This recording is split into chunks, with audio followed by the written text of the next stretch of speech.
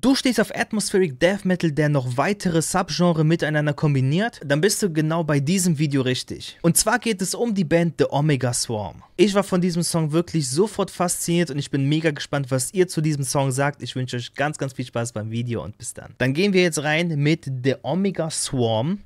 Ähm, Gitarrist ist auch von Sulfur Aeon, hatten wir auch schon hier ein, zwei Mal im Stream, ne? Fand ich ja auch ganz cool. Und ähm, ich sehe hier halt schon die Hashtags, ne, auch Sulfur Aeon und Atmospheric Death Metal. Also geil. Ich, ich mag Atmospheric, ihr wisst das, ne? Großer Atmospheric Black Metal Fan. Ähm, und das halt gepaart mit Death Metal. Bin ich sehr gespannt. Ich würde sagen, let's go. Aber auch schönes Logo. Ganz kurz hier bei dem Logo alleine ich liebe das, dass halt hier noch dieses Omega-Zeichen ist. Ich, ihr wisst ja, ich bin so Fan von, von solchen, ähm, von so Symbolen oder so in, in Logos. Ne, sieht man das ja, sieht man ja auch bei meinem. Ah, sehr, sehr schön. Sehr, sehr schön.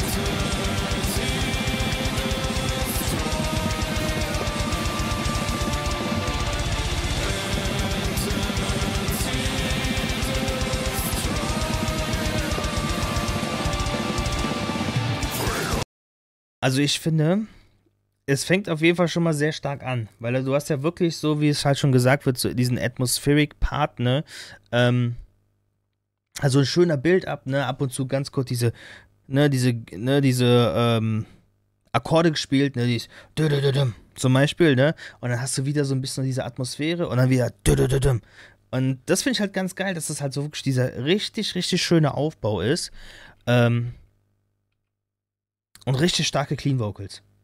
Sehr, sehr schön. So ein bisschen. So, so ein bisschen so, so, so theatralisch, sage ich mal, so einen theatralischen äh, Touch von den Clean Vocals. Sehr, sehr schön. Sehr, sehr nice. Und mit Blastbeats gepaart.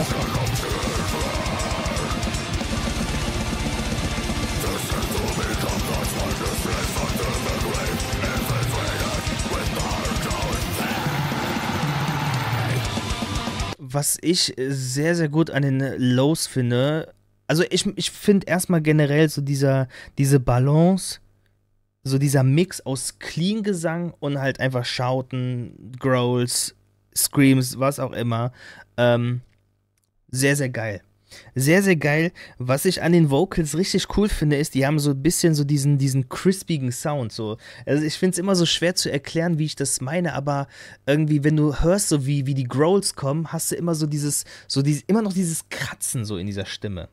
Ne, das das sage ich halt auch immer sehr oft bei Markus von Acranius. Ähm, der hat dann nämlich auch so diesen Stil. Und das finde ich richtig, richtig geil. Und die Riffs auch so schön. Ähm, auch so teilweise so ein bisschen mehr in diese Richtung Technical Death Metal, ne? Finde ich, find ich stark. Also, ne, wenn man schon so anfängt, alle Achtung.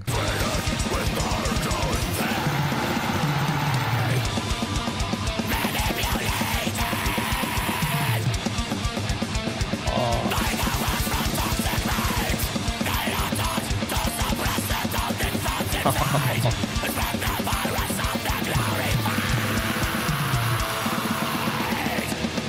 Okay, also ich kann jetzt schon sagen, ich glaube, dass dieser Part mein Lieblingspart sein wird.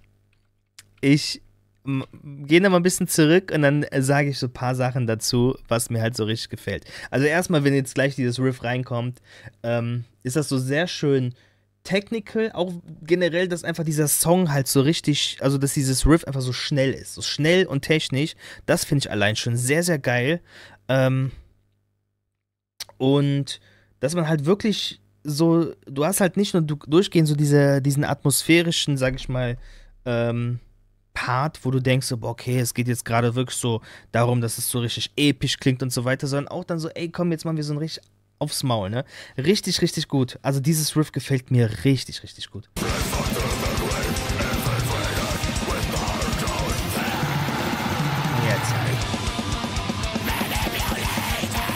Ja, und dann da, ne? So, du hast halt schon diese Clean Vocals, du hast dann diese richtig schönen Growls und dann hast du nochmal so diese Mid-Vocals. Ähm, und ich hab's jetzt hier gerade gelesen, ne? Find die Screams richtig clean, man hört die Wörter sogar raus. Ähm, ja, da, und das finde ich halt auch immer so geil. So, die klingen halt brutal, die klingen halt richtig gut, die Vocals aber sind trotzdem halt sehr verständlich. Und das ist für mich halt auch irgendwie so eine Art Kunst. Ähm, wie auch zum Beispiel bei Lamp of God, ne? Bei Randy ist es halt genauso, ne? Das finde ich halt einfach geil. Richtig, richtig geil. Oh, dieses Riff. Dann hast du das nochmal, diese, diese, diese Akkorde, ne? So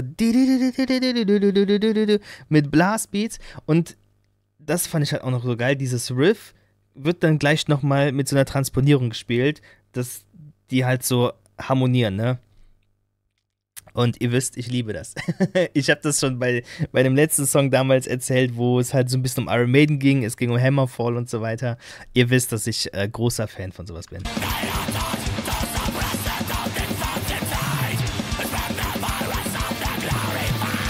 Und jetzt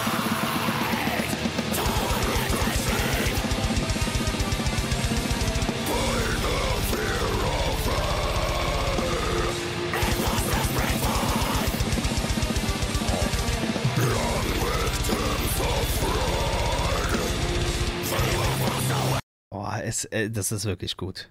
Das ist wirklich echt ein sehr, sehr guter Song.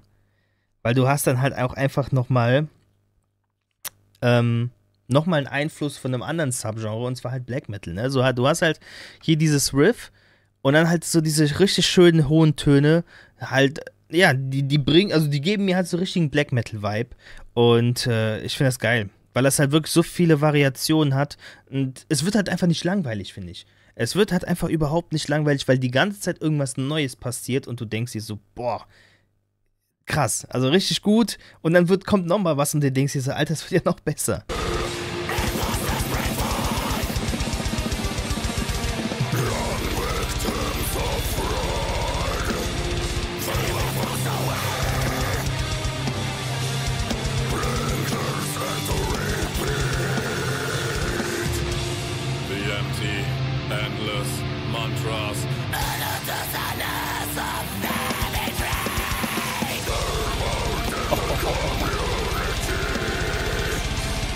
So mit, den, mit dieser Double Bass.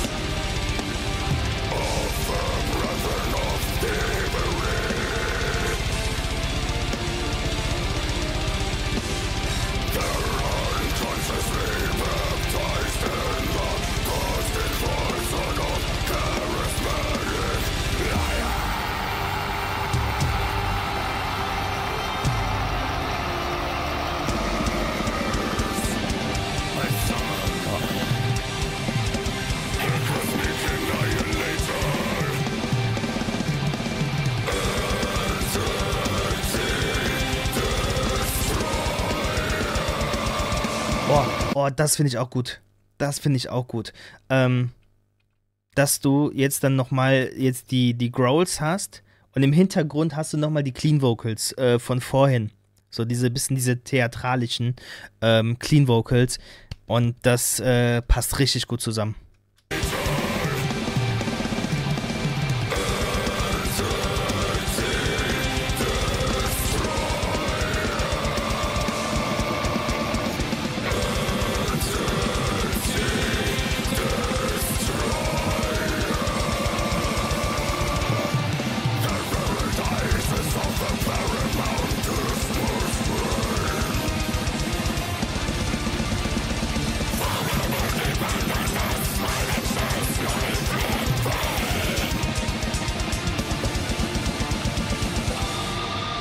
Und das hat auch nochmal, so, wie ich schon gesagt habe, du hast so von ein paar verschiedenen Subgenre irgendwie so ein paar Elemente drin. Ne? Du hast so ein bisschen so die wirklich diesen Death Metal, du hast so ein bisschen so Technical Death, ähm, dann hast du auf einmal so ein bisschen diesen, diesen, ähm, ah, sag jetzt, äh, ich finde so ein bisschen so Symphonic, ne? Das hat man, das hat man ja jetzt so im Hintergrund, so diese Atmosphäre, ne? Und dann auch noch diese teilweise kleinen Elemente, diese kleinen Gimmicks aus dem Black Metal.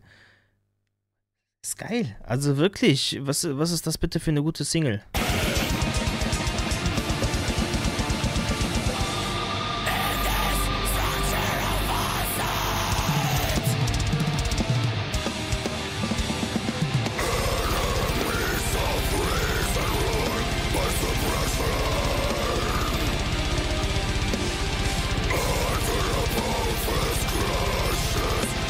Finde ich halt dieses Riff halt auch mehr Black Metal angehaucht.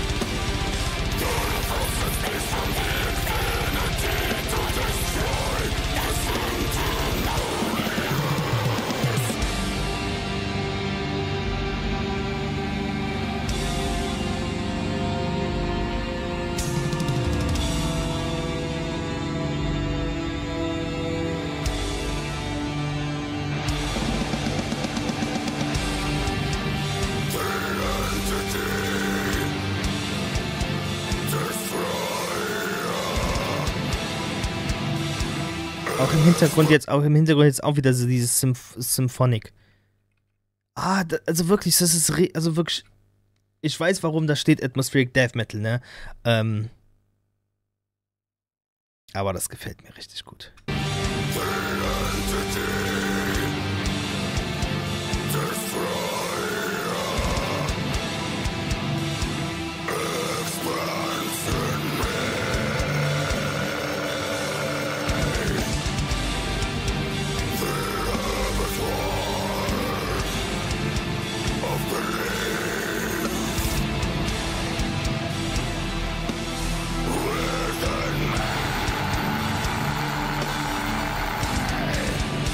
Und hier finde ich es auch so interessant, ähm, weil normalerweise ist das ja so, ähm, das hat man jetzt auch gerade hier gesehen ähm, an der Gitarre.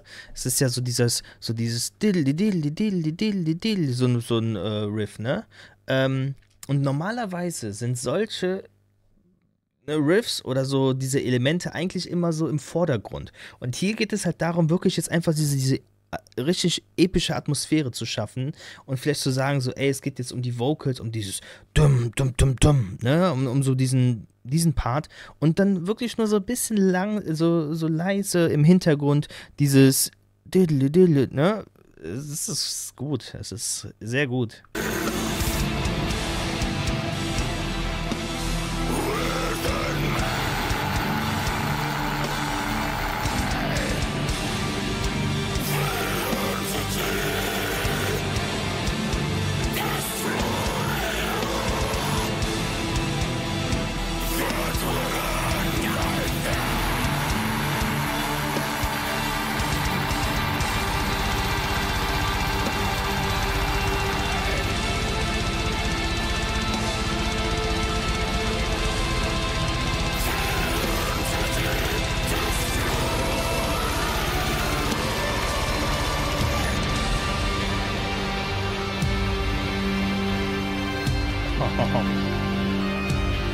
Also ich finde, das ist auf jeden Fall der Part ähm, neben dem einen, den ich eh vorhin meinte, diesen schnelleren Tech-Dev-Part, ähm, was für mich am besten in diesem Song ist. Weil da jetzt auch nochmal wirklich diese, diese Atmosphäre, dieser Atmospheric-Part einfach nochmal so richtig nach vorne gebracht wird. Und ihr wisst, ich bin großer Fan von sowas. Ich höre wirklich täglich mindestens ein Album in Richtung Atmospheric, Black Metal, Death Metal oder sonst was. Und ähm, das ist so gut. Es ist wirklich sehr, sehr gut.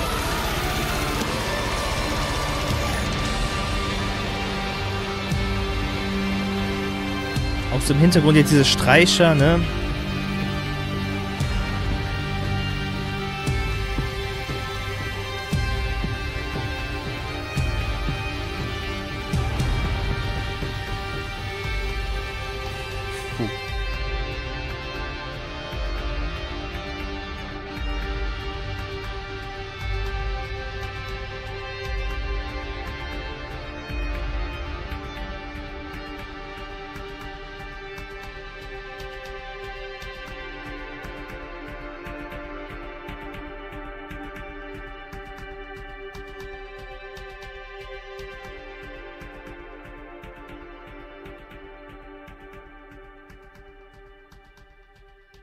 Schön noch so ein Fade-Out-Outro.